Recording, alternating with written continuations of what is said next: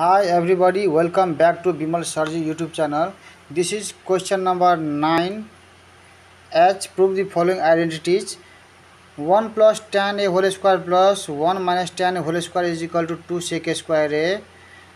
So this is the question of exercise 9.2 trigonometric ratios, class 9 OPT mathematics, class 9 and 10 students. Please don't forget to check the playlist, you will get a lot of solutions. So let's begin the solution here.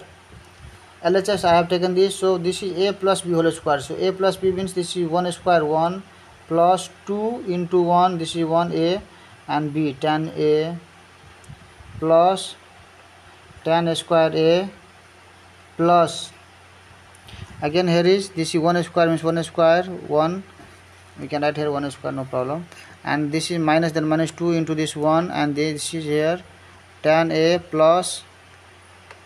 10 square a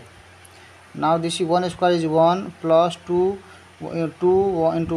2 and 2 10 this will be 2 10 a plus 10 square a plus the 1 square is 1 minus this is 2 1 are 2 and 10 a plus 10 square a so this is plus 2a and this is minus 2a cancel now this is 1 plus 1 2 plus 10 square a and 10 square a plus plus o 2 10 square a these two two common and this will be here 1 plus tan square a and this is 2 and 1 plus tan square a is equal to sec square a so 2 sec square a this is equal to RHS proved